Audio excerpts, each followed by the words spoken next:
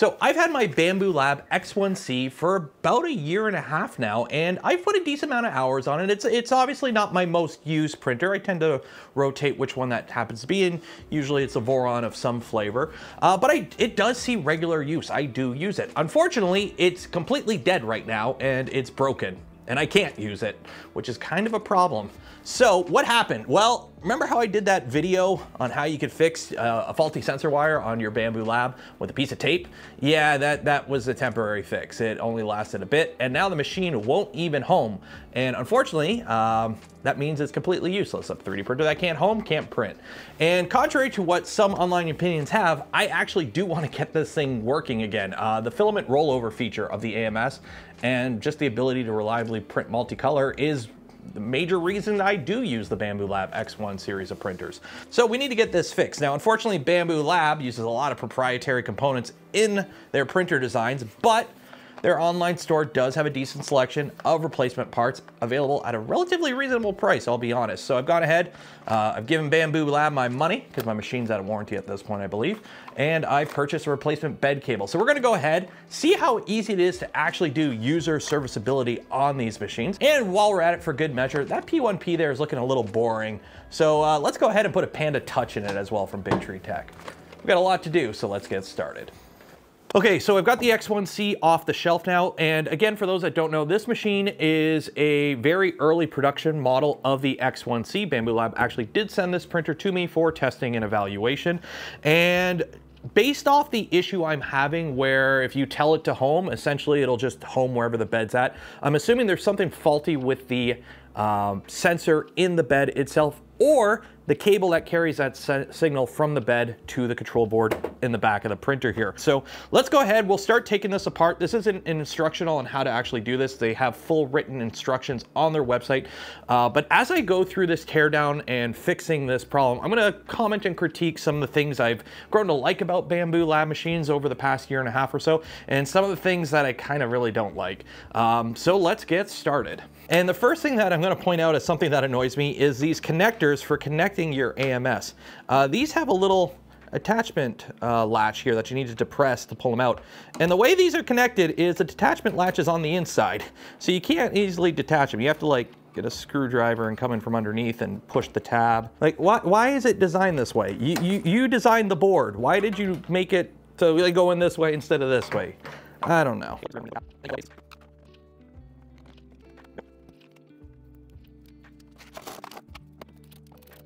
And now that we got the, uh, the back plate off here, um, the first big critique about the design is the fact that for an enclosed printer, it's not really enclosed that well. You have this uh, back area here where the lead screw is and, and prints and, and debris and brims are gonna make their way back here. So you're gonna have to clean it out every now and then. Uh, and also you can see the back here, it's Swiss cheese. You have the, the hole for the poop chute, the hole for the lead screw, you got these holes here for vents and fans, and the hole here again for the poop chute. So it, it would have been really nice if this entire electronics part here was its own separate enclosure so that we could get better chamber temps. Um, they have the X1E now, which includes a chamber heater, but that chamber heater is pretty much, it wouldn't be needed if this machine was insulated a little bit better and sealed up a little bit better. You're I'm assuming you're getting some pretty serious heat loss through this really thin panel and also, you know, all the holes in the back. Now I did try previously fixing this error with some tape, which I guess is more of a temporary fix. Um, as we see here, it's, it's not working anymore. Uh, so if you did that, take the tape out, and now we can remove the bed wire. Now, of course, they did uh, glue it on with that white adhesive that they do. So it's gonna be a little bit of a pain here. So let's see if I can get that out. I really hate that they glue these in. These are locking connectors. You don't need to glue in a locking connector. The uh, manual actually calls for using a heat gun or an air dryer to uh, heat up the glue.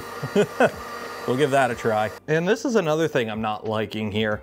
Uh, as you can see, the bed wires, they just, they're just there. You can see it's rubbing on the lead screw. There's, there's grease, there's oil on it.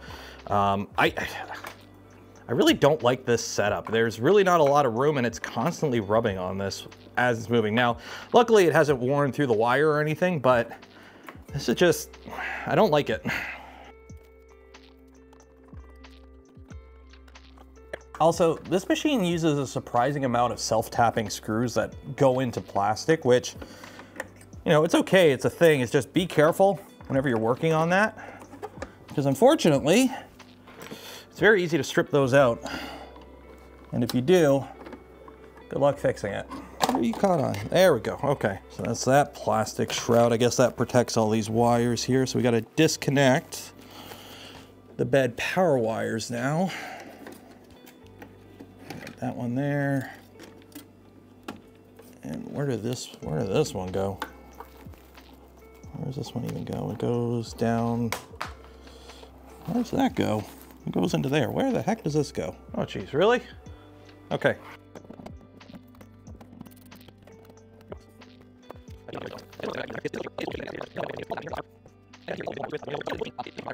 Really? You, that's, that's where that screw is? Really? Down in there?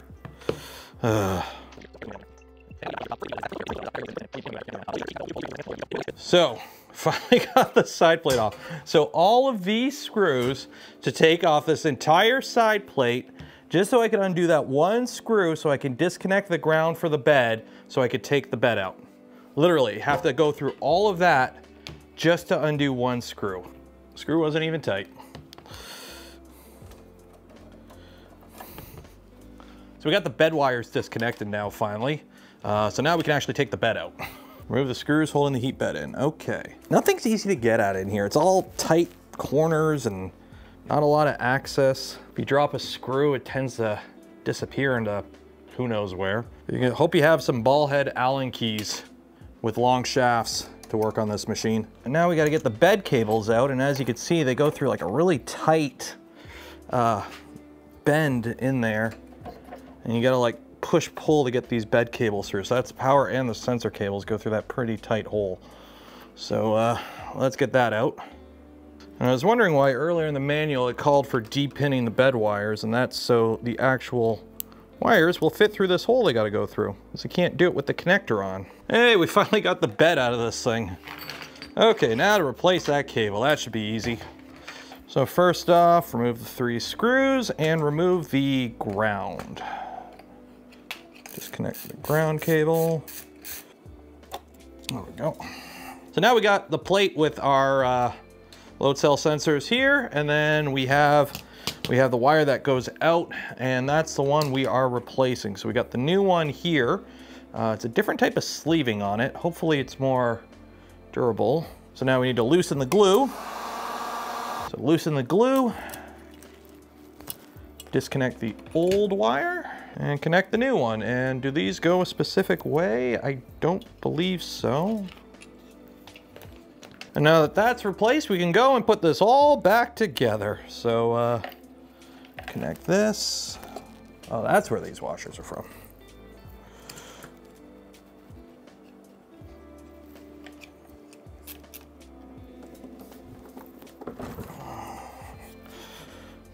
Try not to pull an Uncle Jesse. And now we can reinstall this bed, which means I gotta feed that cable through that little slot in the back, which that's a really bad design. I don't like that, but it is what it is. Uh, try the tape trick maybe. Maybe that'll help it go through easier. There we go. The sensor wire connector won't fit through if you put the bigger wire through first. That's great. You know what? We're just gonna zip tie it. Okay. There we go. Okay. Got the bed back in. Wires are through. Now we just gotta screw everything back in.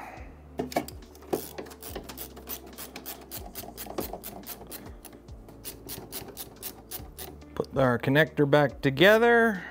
Go blue on that side, brown on that side. Okay, now we gotta plug everything back in.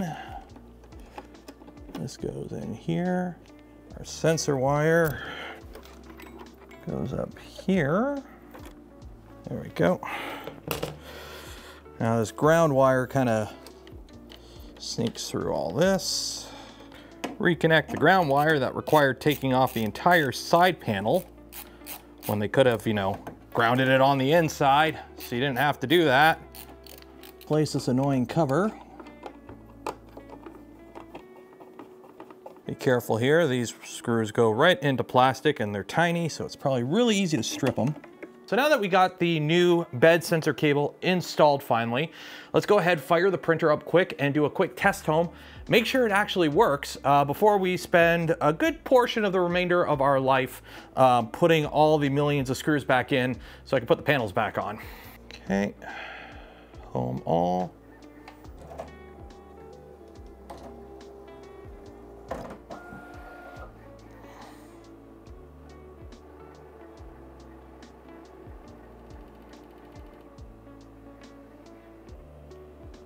And we're good. There we go, it's working again. So I'm gonna go ahead and put the panels back on and to save you the torture of that, my camera battery is about to die. So I'm just gonna do that off camera. If you're wondering how it goes back together, uh, just watch the teardown in reverse. Okay, awesome. That is good to go. The X1 is back in action, ready for printing. So let's take a quick detour and take a look at my P1P here. So recently, Bigtree Tech hooked me up with a Panda Touch. And for those that are familiar with the P1 series uh, from Bambu Lab, one of the things that people criticize the most is the screen on it. Uh, for those that don't know, the X1 series of printers actually has a Rockchip system on a chip on it, and it's actually running Linux. That's how we get this cool fancy touchscreen. And then the A1 series also has a apparently a pretty good touchscreen as well. But the P1 series is kind of languishing with this dot matrix ancient uh, display that's not too responsive. So Bigtree Tech have this add-on here called the Panda Touch that basically gives you the full functionality of the X1 touchscreen on your P1 series. Now this works with both the P1P and the P1S printer from Bambu Lab. Uh, really the only difference between those two machines is the P1P series came out first and then eventually they found the box in the warehouse that had all the panel frames on it and then they put those on and became the P1S series. So let's go ahead, open this up and see what we have in the box to work with. Okay, yeah, there really isn't much to this. We have a bracket, USB-C cable, four screws, Allen key, manual, and the Panda Touch itself. So let's go ahead and get this installed. Okay, so the back of this comes off. It's just magnetic, so I guess you take the back off. Uh, we attach this with some of the screws that we got. And then the mounting bracket just attaches with VHB. So give the surface a quick wipe down with some ISO or something. Make sure it's clean and no grease. Peel off the backer. And then I guess you line up the right side of the bracket with the right side of the screen. So we're just gonna eyeball that. Yeah, right about there. Push that down. There we go. And then once we get the bracket on there, uh, there's a power switch on the back here. It comes set to off. We're gonna set that to DC 5 volt. And then we guess we just, that goes on like that. And then we have a USB cable here, and this has got to connect to the USB-C port on here. So let's go ahead and do that. That I guess just plugs in here. Nope. Nope. Yes. And then that just plugs into USB-C port. Now there is uh, some wire management runs built into the frame. So run the wire up through that one hole in the front there and then plug it in. Make sure it's set for DC 5 volt and that is it. So now I guess we turn it on. Okay, so first it's gonna have us connect to the network, so I'm gonna blur all this, connect to my normal Wi-Fi. Okay, so now put your printer name. We're gonna call this P1P because that's what I have. Printer IP, okay, we're gonna need all that. So let me go ahead and fill in all this information. Now it does ask for a bunch of information like Wi-Fi information, printer serial number, access code. You can find all that on the uh, screen here, but we've got and installed. We got temperatures here connected. So hopefully if this works, there we go. So as far as I'm aware, this pretty much functions exactly the same as that touchscreen. So that is really cool. So if you have a P1 series printer, uh, P1S or P1P, and you're looking to uh, make it just a little bit more usable, because let's be honest, the screen sucks. Although I'll also be honest, I rarely use the screens on my printers. These machines have Wi-Fi connectivity, and, and while I'm not a huge fan of relying on cloud services for functionality of a, something like a 3D printer, uh, you can run both of these machines in LAN mode, which is what I normally do. So if you find yourself using the screens on the P1 series enough, um, maybe the Panda Touch is something you may want to look into just for increasing that usability of these printers. Because let's be honest, the Bambu machines are very newbie friendly. They're very, they, they have a lot of quality of life features to them. Um, but the screen on the P1 series, let's be honest, is a uh, not a great thing. So Bigtree Tech has a nice little upgrade for you if that's something you're interested in. Although I'm now realizing um, I may have set myself up here for failure because unfortunately with that Panda Touch on my P1, it's not gonna fit on my shelf anymore. So this is gonna have to move downstairs. Now, if you don't like uh, the default mounting setup with the included bracket, I've already seen there are some prints uh, available for different mounting options. You can have it beside the touch screen. And also the Panda Touch works remotely. So you could just, you know, take it off, run it through its internal battery. It's connected to your Wi-Fi and you can actually control your printer uh, with just the pad. It'd be really great though if you get the webcam feed on here, but unfortunately that's not a thing. So there we go, a nice little repair and upgrade video for you today. Um, TLDR, my long-term thoughts on the X1 series of printers. It's a good machine, uh, but it has a lot of little quirks of things that I, I wish I could do on it. For example, the, the one thing that this machine doesn't have that has driven me insane the most over the year and a half of me using it is the fact that it doesn't even have a console. The fact that if I have to drop the bed down to do maintenance on the printer, I have to sit here like a Neanderthal and constantly touch the screen to drop it five or 10 millimeters at a time. I just can't do G1Z250 go. You, you can't do that on machine. You just can't. They don't let you. Um, and also, when it comes to doing repairs on it, yes, you, you can do repairs. If you need parts, Bambu has them. And they're the only ones that really have them.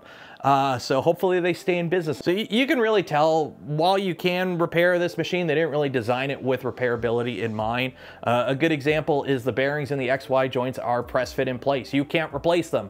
If you have a bearing go on your XY gantry on your Bambu machine, you pretty much have to buy an entire replacement gantry, disassemble the entire printer, just to replace that 30 cent bearing. Or if your bearing goes on your uh, linear rods on the XY, same thing. And even the rods are fused into the XY joints. So if anything goes in that gantry, you're just stripping down that entire machine and having to buy, in my case, a $100 gantry replacement to potentially fix a 30 cent bearing. So yeah, it, it, it could be worse but it could be better and I would love to see Bambu iterate on the next revision of their enclosed Core XY machine and just make it a little bit easier to service or at least streamline servicing some of the more critical components. Because let's be honest, on my Vorons, on a Prusa, if you have a bearing that explodes, you can replace that in sometimes like 30 seconds. It's not a huge deal, but on these machines, it is. And then again, for the Panda Touch, uh, if you do run P1 series of printers in like a print farm, uh, hey, this might be something you may want to get, especially considering you could control multiple printers at the same time uh, with one of these and it's Wi-Fi, so you can walk around with it as well. So yeah, hope you enjoyed the video today. Before you head out, make sure you like that smash button while you're down there. If you're not subscribed to the channel, make sure you're subscribed so you don't miss out on some of the fun things we do, like all the live streams. And if you want to help support the channel, the content I create, and the things I do, consider becoming a channel member, Patreon supporter, or just checking out some of the links in the description. Affiliate links don't cost you anything extra. Go a long way in supporting the channel. I'm Nero3D, the Canuck Creator, and cheers.